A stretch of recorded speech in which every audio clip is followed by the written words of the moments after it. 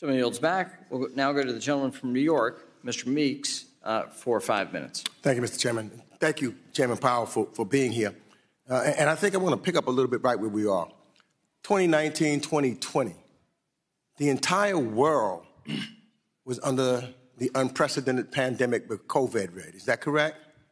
Yes. At, at the time. And that changed a lot of things with reference because not just for the United States, but for the entire world. And it affected the economies of countries just about on the planet.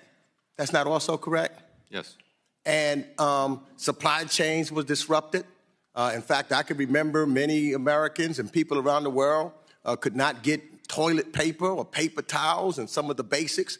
And so the prices, because of the you know of, of supply and demand, skyrocketed, causing the inflation not only in the United States, but basically all over the world. Is that correct? Yes. And so, therefore, the Fed had to do certain things because of what we were in at that particular time. We couldn't just go back and act like the pandemic wasn't there. We had to do something to try to make sure that we were able to get through the pandemic. Is that not correct? Yes.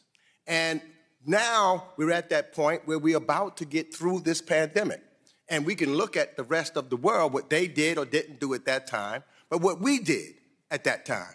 And as a result of that, three years post the pandemic, when you look around the world, I think that you were correct with what you stated.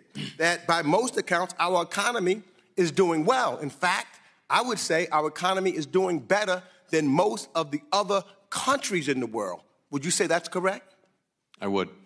And uh, so, you know, I would say then that some of the other countries of the world maybe should have looked at the policies that we put in place thereafter so that they could get out of it, so that they could be uh, have a labor market that is strong, where the unemployment rate is near a 50-year low. Uh, and as you've stated, inflation is also now coming down faster than any place else on the planet, just about. Is that not correct? I think that's right. Yeah. And um, and, and, and I think that uh, you also recognize a mismatch between the strength of the economy, that's what we're talking about, in the field. And I think that uh, uh, Ranking Member Waters touched on one of those big issues of housing, of which is now, you know, we're still trying to get it, get it, get, get, get that under control. And I think uh, the Ranking Member has some ideas on how we can do that, and that that may be something that you need to consider so that we can further get down uh, the uh, uh, inflation rate. And the other would be um, the commodity markets because the cost of food is too high and people. So that's something else that we need to get in control. Is that not correct? Yes. And let me just ask this can you uh, say that there's a connection, for example, between conflicts in other areas of the world, like Russia's war against Ukraine and all the turmoil in the Middle East and the economic pressures that the United States feels, does that not also go into the reason why the cost of commodities can be still higher? Is there a connection therein, Mr. Mr. Uh, Chairman? Certainly, the war in Ukraine uh, caused commodity prices to move up sharply. So, could you tell you what is the you know what what is the what, what would the connection lead you to believe that there is an urgent need for us? I would think for you know, and we're running out of time for us to do everything that is in our power in Congress to support Ukraine so that we can make sure that that and other strategic partners uh, that we can help the commodities market and that would help lower the cost of some of the commodities, bringing food prices down if we would just be able to pass certain things that's going to help Ukraine right here in the United States Congress. Is that correct? Here's where it gets outside of our uh, our jurisdiction. So we, we wouldn't I wouldn't have an opinion on on Ukraine funding.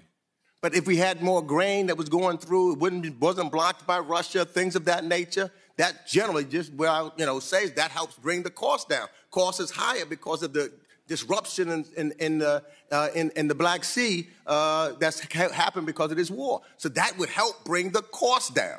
That has not necessarily the policies just here in the United States, but that's the policy because of what's going on in Russia. And we need to make sure that we do something to prevent that if we really are serious about bringing inflation down. Is that not correct?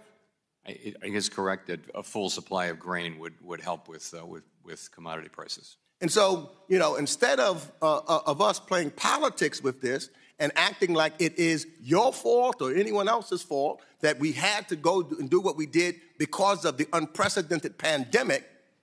What we did was save the economy then, knowing we got some problems that we had now, and now we are recovering quicker and better than any other country on this planet as a result of your policies and the policies of Joe Biden.